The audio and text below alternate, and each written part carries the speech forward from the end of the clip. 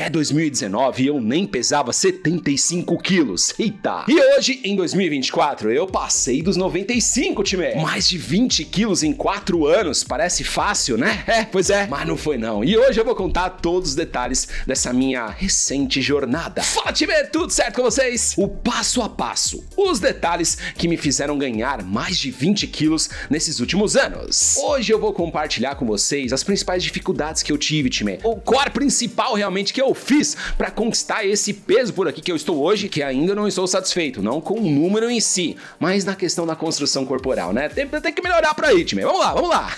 Quem me acompanha há um tempo sabe que lá em 2018 eu lancei uma playlist aqui no canal que se chamava Cansei de Ser Frango, né? Certo, e que agora em 2024, no começo desse ano, eu regravei, regravei não, né? Eu gravei novamente alguns vídeos acompanhando a minha rotina, mostrando a minha meta de chegar nos 95 quilos, já que eu tava com 91, 90, enfim. Vamos lá, vamos compartilhar com vocês agora, time, tudo que eu fiz nesse processo recente para chegar nesse peso. Bora que bora! Mas antes, se você não me conhece ainda, caiu nesse vídeo de paraquedas, muito prazer! Eu sou o Coloral, fundador aqui do Macha Moda, o consultor de estilo de vocês no YouTube. Já deixa aquele like aqui embaixo no vídeo que é muito importante, tá? Pro YouTube entender que você achou esse conteúdo relevante e compartilhar com mais gente, para mais gente também conhecer um pouco da minha experiência né, nesses últimos anos aí de subida de peso. Se inscreva aqui no Macha Moda também. Eu tenho certeza que você que está assistindo esse vídeo ainda não é inscrito. Confere a sua inscrição agora, vai, ativa a notificação também, muito importante. Pacote completo, like, inscrição e notificação. Agora sim, vamos pro começo da jornada. Bora que bora! E o primeiro lugar, time, o primeiro passo aqui que eu considero importante, né, para essa minha mudança corporal nesses últimos anos foi a questão da dieta diferente. Olha só, a minha vida inteira eu pensava que eu comia bem. Bem, né? Pois é. Até passar com um nutricionista bom, bom, na época de 2018 por ali, que é o meu amigo Ricardo Del, um abraço pro Del, inclusive. E quando eu cheguei na consulta com ele, eu tinha na faixa de uns 72 quilos, tá? Aí ele começou a fazer algumas perguntas para mim sobre o meu dia a dia, sobre a minha rotina, sobre a minha dieta na época, o que eu comia de fato, né? E também qual que era o meu objetivo, o que eu queria da vida. o que, que eu tava fazendo aí na mesa dele, certo? E na época para ele eu disse: Eu cansei de ser frango, Del. Cansei de ser um palito de fósforo, tá ligado? Eu quero crescer muito, irmão. Eu quero crescer muito mais do que eu já cresci, que era, tinha sido pouco na época. Eu saí quando eu comecei a treinar, time, pra vocês terem uma ideia, um parênteses rapidinho. Acho que foi em 2000, 2007, 2006 que eu comecei a realmente frequentar a academia. Não considero treinar na época, mas enfim, eu tinha 58 quilos, tá? Com 17, de 17 para 18, alguma coisa nesse sentido. E quando eu cheguei no Dell em 2018, aí depois de 8 anos praticamente, né? 8? Não, 9. Enfim, eu tinha 72, então já tinha crescido um pouquinho, já tinha subido o peso um pouquinho, mas para mim ainda tava totalmente inaceitável. Eu não me olhava no espelho e achava bonito, tá ligado? Não, não gostava do meu corpo. Enfim, time, aí o Del olhou para mim e deu uma leve risada. Você quer crescer muito, irmão? Você vai ter que comer muito, não tem outra. Eu lembro que ele fez os cálculos por ali na minha taxa metabólica basal, né? Que é quando seu organismo perde calorias por ali, basicamente, tá? Não sou nenhum teórico, nenhum técnico da coisa, mas pelo que eu entendo, é quando você não tá fazendo nada e o organismo queima caloria. É isso? Então. E girava em torno de 2.100 mais ou menos o meu basal, ok? Que naquela época, basicamente, era o que eu comia por dia, né? Pelos cálculos que ele fez ali do que eu passei para ele da minha alimentação. Ele me olhou e disse: Olha, Coloral, você come hoje em dia mais ou menos 2.000, 2.200 calorias, tá? Você vai ter que comer 5 mil. Pois é, time, 5 mil calorias. Só que na época eu não tinha essa cabeça, né? Eu não fazia essa continha. É, pô, eu como 2 mil, 5 mil calorias, então eu vou ter que mais do que dobrar o que eu como, né? Então eu não tinha essa noção até ele colocar no papel a minha dieta. Irmão, irmão. E eu tentar comer tudo aquilo que tava no papel, né? Meu Deus, time. Não deu. Nesses primeiros dias, nesses primeiras, primeiras semanas, nesses primeiros meses, eu sofri realmente para comer tudo aquilo. Como eu disse, né? Fazendo um cálculo de padaria, eu tinha que comer praticamente mais do que o dobro do que eu estava acostumado a comer. E demorou uns dois a três meses, algo nesse sentido, para eu começar a chegar perto das 5 mil calorias, viu? Pois é, com muito shake proteico, com comida, alimentos calóricos, etc, etc, etc. Aí eu lembro que eu achei que eu tava arregaçando, né? Que eu tava comendo pra cacete. Falei, nossa senhora, tô parecendo um boi comendo, tô comendo que nem um cavalo por aqui. E aí nesse período eu não pesei, né? Eu falei assim, não, vou pesar só quando eu conseguir realmente estar tá comendo bem, né? Aí quando eu fui pra balança pesar, que eu já tava há um tempo comendo essa dieta por aí, nada. Eu acho que não tinha subido nenhum quilo, time. Eu fiquei totalmente desapontado, totalmente chateado, totalmente arrasado. Não é possível, irmão. Eu tô, do, eu tô dobrando a quantidade de alimento praticamente e não subiu um quilinho a mais. Aí o Del olhou para mim e falou: Calma, Coloral, calma. O seu organismo vai se acostumar. Calma, irmão, calma. É um processo. E ótimo, na época eu não dei muita moral, não, mas foi dito e feito, tá? Dito e feito. Depois de uns 5, 6, 7 meses, nessa dieta realmente recheada de comida, é que eu comecei a de fato, né, sentir ali os primeiros resultados, tanto visuais como também na balança, ok? E eu também confesso que minha barriga ficou bastante inchada, tá? Mas enfim, faz parte. Aí adaptando a dieta depois a gente conseguiu dar uma, dar uma equilibrada nisso tudo, ok? Mas é difícil, mas é difícil. Vamos lá. Então, em primeiro lugar, time, o primeiro passo que eu considero realmente relevante, né, para eu conseguir subir de peso foi essa dieta diferente, foi passar com um nutricionista, certo? Segundo lugar, foi a nova rotina de refeições, que ainda tem muito a ver, né, com a dieta diferente, por conta da quantidade de alimento, não tem como. Eu fazia antes de passar com um nutricionista, no máximo, no máximo, de 3 a 4 refeições por dia, tá? Com a nova dieta, com 5 mil calorias, era impossível comer tudo isso em três refeições, não tem como, humanamente, quer dizer, na época, né, para mim, humanamente impossível. Então as refeições que eram 3 a 4 subiram para 6 por dia, olha só. Vamos lá, então hoje em dia até eu faço isso, tá? tá? Café da manhã, tá? O primeiro lugar ali que eu acordo muito cedo, aí temos um lanche da manhã, temos o almoço, temos o lanche da tarde, temos a janta e temos a ceia. Captou? Isso foi muito bom por alguns pontos, né? Porque de fato eu comecei a ter que acordar cedo para conseguir fazer seis refeições no dia, né? Para conseguir ter fome de fazer seis refeições por dia. E isso foi muito bom, porque eu gosto de acordar cedo, eu acho que o meu dia rende bastante. Por exemplo, eu tô gravando esse vídeo agora, é 6h52 da manhã. Pois é. Outro ponto que foi interessante que equilibrou realmente a quantidade de comida nas refeições. E também eu comecei a partir daí, né, a comer de 3 em 3 horas. E isso é muito bom para mim, tá bom, time? É muito bom. Mas outros pontos, né, que realmente tive que me acostumar, adaptar minha rotina, que não foram tão positivos no começo assim, eu tenho refluxo, tá? Já há bastante tempo que eu venho controlando. Hoje em dia tá de boa, tá, tá, tá tranquilo, tá? Mas há, sei lá, uns 15 anos atrás tava complicada a situação, tava complicado mesmo. Então, nessa época aí do refluxo, que eu descobri, né, que eu tinha um refluxo mais ah, acentuado, eu já tive que cortar várias coisas da minha dieta, comidas mais pesadas, comidas gordurosas, refrigerante, etc, etc, etc. E principalmente comer à noite para mim sempre foi um problema por conta do refluxo. Então eu tive que ajustar muito certinho ali os horários que eu como de noite, que eu comia de noite, para também não me atrapalhar na hora de dormir, tá ligado? Porque é tiro mas se eu vou dormir ali de barriga cheia, no dia seguinte eu acordo ah, zoado. Mas enfim, foi um tempo de adaptação, eu consegui resolver essas questões, hoje em dia tá tudo certo, tá tudo certo. As, as, as alimentações, as refeições distribuídas ao longo do meu dia, ok? Então esses dois pontos, time, da nova dieta e da questão das refeições, mais refeições ao longo do meu dia, depois que eu encaixei nos trilhos certinho, ficou bala, time, ficou bala. E no final de 2019, né, depois de um ano e meio aí praticamente que eu tava com o Dell, já passando com o Dell, etc, etc, etc, o que era inimaginável para mim chegar em questão de peso realmente, eu consegui bater. Mas eu nunca na minha vida pensei que eu poderia chegar a ter, né, 80 quilos. E foi o que aconteceu. Então, para quem tinha 58 quilos com 18 anos, chegar aos 80 por ali. Quantos anos eu tinha aos 80? Em 2019, há 5 anos atrás, eu tinha 30, 29, por aí, né? 20, ah, 30, 30. Chegar com os 80 quilos realmente já foi um marco, assim, para mim, tá ligado? Foi algo realmente de se comemorar, de soltar fogos. Solta fogos aqui, John, por favor. Boa! Ah, Coloral, mas então você tá falando que só foi alimentação, que só foi dieta. Não, time, não tô falando isso, não. Não foi, não, não, não, não, não, não. Porque realmente teve também o treino e personal. Pois é. Porque como eu disse para vocês que eu frequentava academia, né, lá em 2006, quando eu comecei a ir com 17, 18 anos, realmente eu frequentava, né? Eu não sabia treinar, não. Não sabia treinar, não. É outras épocas, tá ligado? Então, em paralelo à alimentação, né, que eu fui atrás ali do Del como nutricionista, etc, etc, etc, eu também intensifiquei a parte dos treinos no meu dia a dia e comecei a treinar com personal na época, levando mais a sério a rotina, levando mais a sério os ensinamentos e tudo mais. Que me ajudou demais, demais, demais a de fato aprender ali, né? Melhorar, na verdade, né? Os meus movimentos. Não que eu seja hoje um especialista, não é isso. Não tô falando que eu tenho que aprender todos os dias. Tem muita coisa que às vezes eu me vejo que eu me pego fazendo errado, aí vem alguém me corrige e tamo junto. É para isso mesmo. Mas enfim, eu evolui muito em questão da pegada certa, dos exercícios.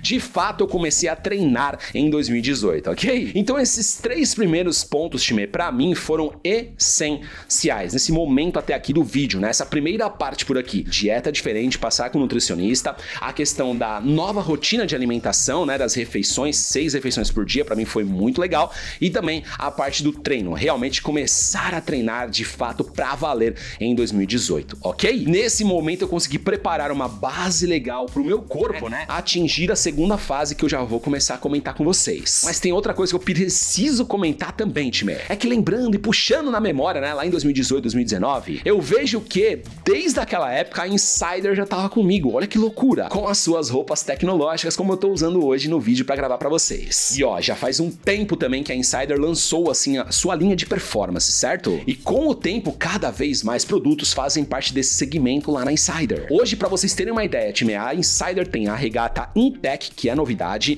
a Performance T-shirt, Lighter Jogger, Performance Tank, acessórios para treino e muito mais. E outra, né, time? Você pega qualquer peça praticamente da Insider, até a Tech T-shirt, até uma um oversized shirt pode servir para treinar da Insider, porque é sensacional. Todas as peças dos caras têm tecnologia. Por exemplo, tecnologia anti-odor, massa. São peças duráveis por conta da construção da, da, da, roupa realmente. Possuem conforto térmico e secam muito rápido. Você quer mais o que, irmão? A roupa perfeita para treinar. Então pensou em tecnologia, a gente já automaticamente pensa em Insider Store. Não tem como separar as duas coisas, né? E time, agora é a hora de comprar Insider, porque eles anteciparam a Black. Meu Deus do céu! Desconto descontos de até, você consegue comprar com desconto de até 40% na loja virtual dos caras. Usando o cupom MACHOMODA15, MACHOMODA15, sim, você usa o MACHOMODA15 e já garante 15% off, ok? Mas aí tem um monte de produto da Insider que já tá com desconto na própria peça, já com desconto de Black antecipada. Aí você vai, usa o cupom e é sucesso demais porque é acumulativo, time. E os descontos podem chegar até 40%. Então esse é o momento de você comprar a sua roupa na Insider Store, a sua camiseta de treino, a sua camiseta pro dia a dia, a sua oversized, enfim, a sua bermuda, a sua calça, porque os caras têm linha completa. Bora aproveitar, time? Link aqui na descrição da loja virtual da Insider e o cupom MACHAMODA15 para você não esquecer também.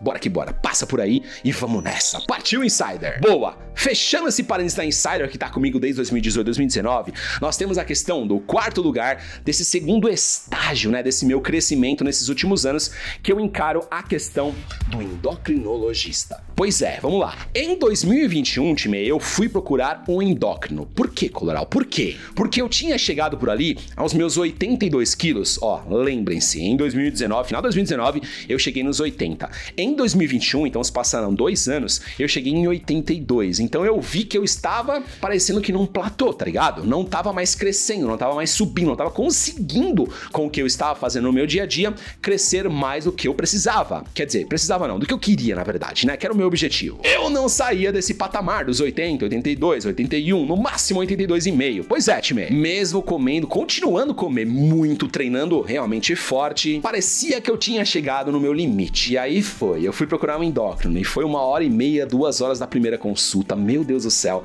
o doutor Gustavo Fraga perguntou tudo para mim, da minha, do, da minha dieta, do meu dia a dia, da minha rotina, como é que era meu treino, como é que tava a minha cabeça, como é que eu tava realmente em todas as questões da minha vida. O cara quis saber de tudo, time, de tudo. Foi demais. Ele entendeu quem era o Coloral, quais eram os meus objetivos para começar a trabalhar em cima de fato deles. E aí ele pediu um, batalhão de exames, time, é sério. Eu lembro que eu saí da primeira consulta do endócrino até assustado com o tanto de exames que eu tinha para fazer. Quando eu fui no laboratório, né, para vocês terem uma ideia, a recepcionista ali ficou puxando os exames para aprovar com um plano de saúde ali e tudo mais. Ela demorou 45 minutos com todos os exames exames que o doutor me passou. Meu Deus do céu, time, você tá maluco. E aí foram mais de 30 tubos de sangue que eu tirei essa primeira vez, para vocês terem ideia. Um check-up completaço realmente. E ali o doutor já identificou alguns pontos que a gente precisava melhorar. E uma das coisas que eu mais destaco por aqui, acho que tem mais influência, né, nessa questão do, do meu limite para ali, do meu platô, realmente foi a parte hormonal. Pois é, meu nível de testosterona já estava baixo, time, na faixa ali dos 200 e pouco, tá ligado? Pra minha idade, hum, na época com 33 para 34 anos. E pro meu objetivo também, realmente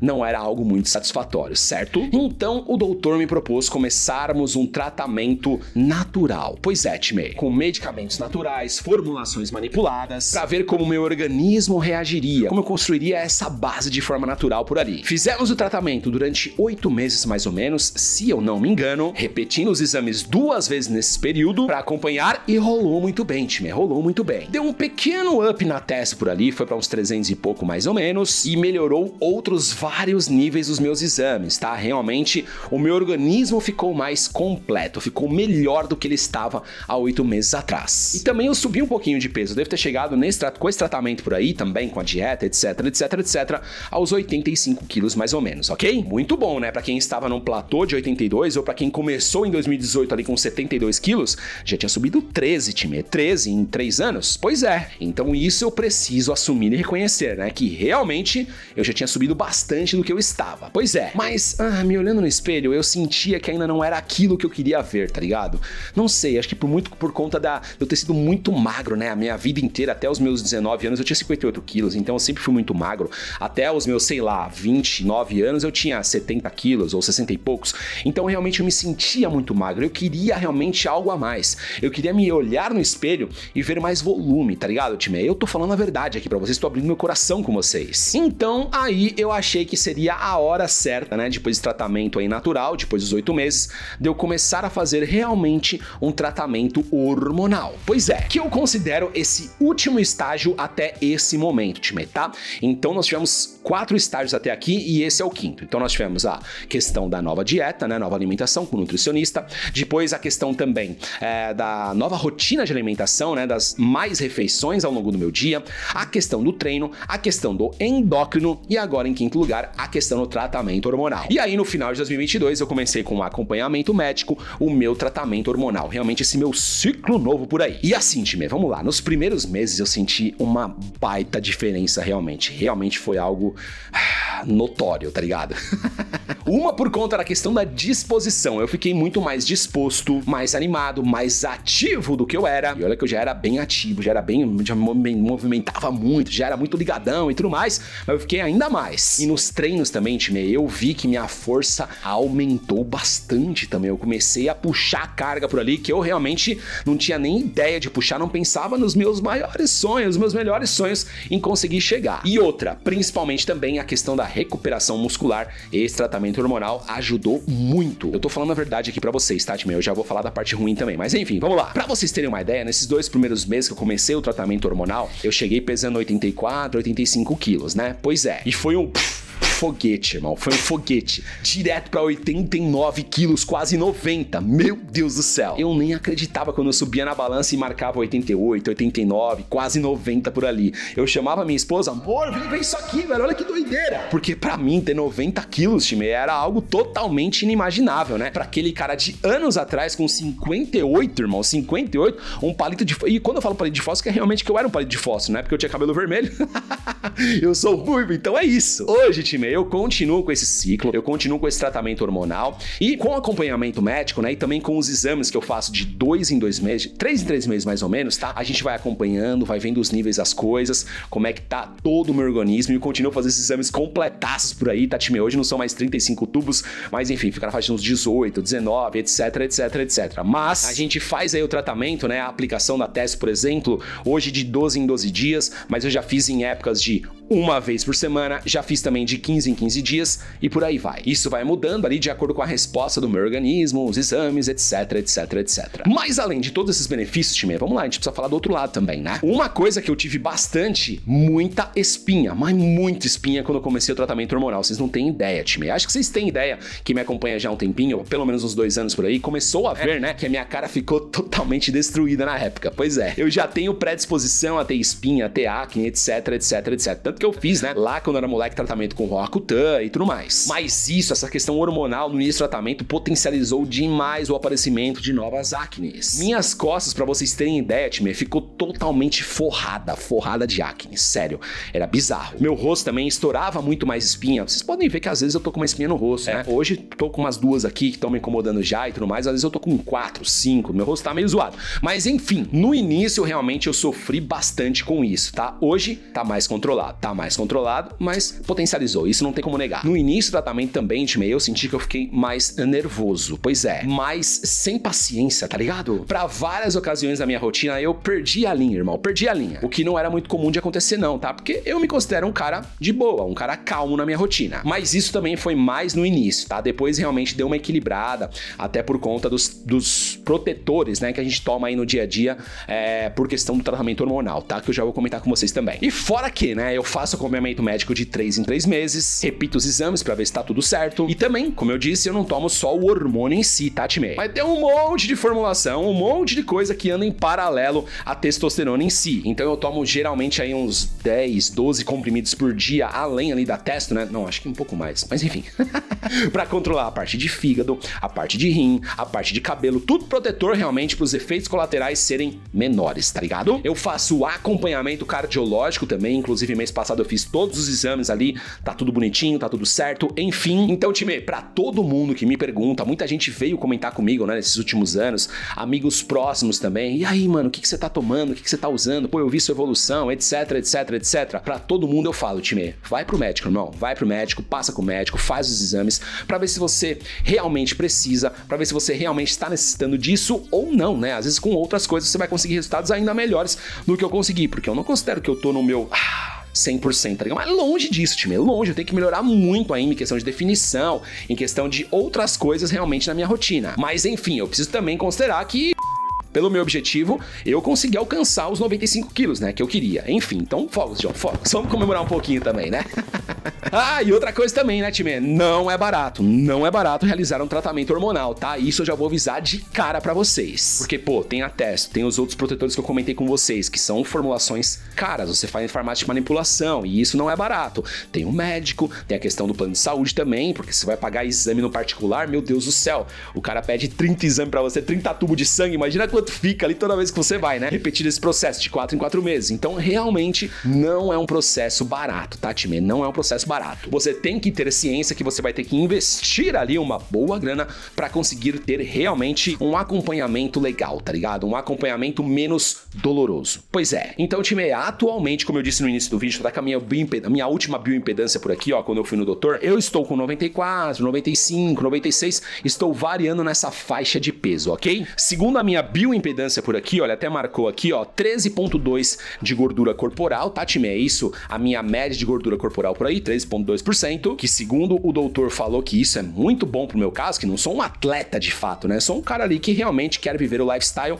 um pouco mais saudável, quer realmente ter um shape mais bacana, enfim. Então ele realmente falou que é um nível gordo, de gordura corporal muito bom. Eu tô com 47.5 quilos de massa muscular, ok? Isso aqui segundo a minha bioimpedância também. E outra coisa que ele destacou por aqui, que ele até circulou por aqui na minha bio, é o nível aqui, ó, de gordura visceral, né? Que ele falou que realmente tá abaixando cada vez mais. Hoje em dia eu tô com 5, é isso? Essa gordura visceral, novamente, eu não sou técnico para explicar, não sou profissional, não sou médico, mas enfim, pelo que eu sei, pelo que eu já pesquisei, é aquela gordurinha que se acumula ali no abdômen, tá ligado? Entre os órgãos, entre o fígado, estômago, pâncreas, intestino. Basicamente eu sei que é isso, tá, time? Quem for profissional aí, por favor, me corrija aqui nos comentários. Mas enfim, esse nível aí, pelo que ele me falou, tá bem baixo, muito bom, e vem abaixando aí ao longo do tempo, tá? Mas basicamente é isso, time. Então eu tô passando aqui para vocês, abrindo meu coração, realmente falando esse processo aí nesses últimos anos, né? Um resumo, um contexto geral de tudo que eu fiz para chegar nesse peso, né? Para chegar nesse momento por aqui. Porque muita gente às vezes não, não, acompanha o canal faz um tempo, né? Aí me vê aqui e fala assim: Nossa, o que aconteceu, Coloral? Você cresceu? Você tá deformado? Não é isso, time. Realmente eu tive ali um aumento de mais de 20 quilos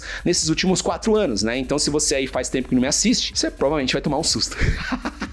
em paralelo a isso, né, pô, cresceu barba aqui, mudei o cabelo, né? Fiz aqui o nariz também, né, na harmonização ali e tudo mais. Então, ficou alguma coisa, algumas coisinhas estão diferentes, certo? Mas é isso, time. Espero que vocês tenham compreendido o vídeo de hoje. Comentem por aqui também a experiência de vocês. Se você tem alguma experiência para compartilhar, se você conseguiu já subir de peso, ou se você tinha muito peso que queria perder e você conseguiu também, compartilha aqui sua experiência. Vamos trocar essa ideia, vamos bater esse papo, tá ligado? Vamos trocar essas, essas experiências realmente, porque às vezes, como eu gravei esse vídeo aqui pode ajudar muita gente, um comentário que você deixar aqui embaixo pode ajudar outras várias pessoas, tá ligado? Então, às vezes, a sua dúvida pode ser respondida por outra pessoa também, ou então a sua experiência pode ser a dúvida de outro. Então, comentem por aqui, time. Bora que bora! Lembrando que temos Black antecipada na Insider. Oh, maravilha! Maravilha de Deus! Então, Macho Moda 15 é o cupom, Macho Moda 15 é o cupom. Você usa o cupom em qualquer compra na Insider e com os descontos já aplicados no site da Black, Black antecipada, você pode chegar até até 40% off nas suas compras. Tatime. Então, sensacional. Essa é a hora de comprar na Insider Store, tá bom? Link aqui na descrição da loja virtual dos caras, cupom de desconto também, Macho Moda 15 e tamo junto, time. Bora pra Black antecipada na Insider agora, vestir roupa tecnológica no dia a dia. Pensou em roupa tecnológica, pensou em Insider, não tem como, não tem como separar as duas coisas. Bora, time, partiu Insider agora. Muito obrigado pela companhia de vocês, espero que vocês tenham curtido, né, essa minha abertura de coração por aqui. Muito obrigado pela companhia de vocês, gratidão por vocês sempre estarem aqui e acompanharem também, né, todo esse meu processo por aí, time, na Cansei de Ser Frango, no meu dia a dia no Instagram, etc, etc, etc. Aqui em cima você encontra as redes sociais do Macha Moda, segue por lá e aqui do lado outros dois vídeos sensacionais para vocês darem o play, tá bom, time? Então bora pra cá, bora pra lá e a gente se vê no próximo vídeo, terças, quintas e domingos às 11h15 da manhã, aqui no Macha Moda. Tamo junto, valeu e eu fui, time! Eita, vídeo bom, hein? Muito bom, muito bom.